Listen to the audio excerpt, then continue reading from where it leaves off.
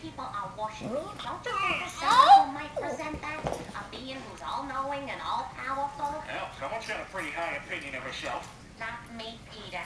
God. The real God. Hmm. What's the big deal? So I pull a little bit and now people think I'm God. I mean, when did God ever say he didn't want someone else being worshipped like him? It's one of the Ten Commandments. Oh, come on, Lois. Those were written like 200 years ago. Times have changed. Okay, let's stay calm. Hmm.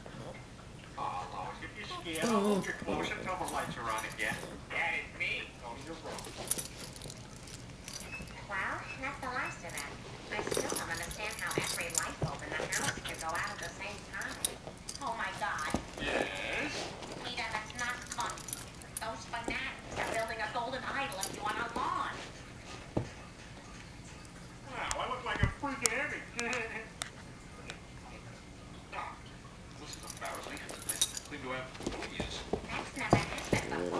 Morning! Mm. Ah! Fresh puberty hit you like a ton of bricks. What do you mean? Ah!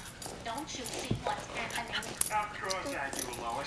A fresh-faced little boy is becoming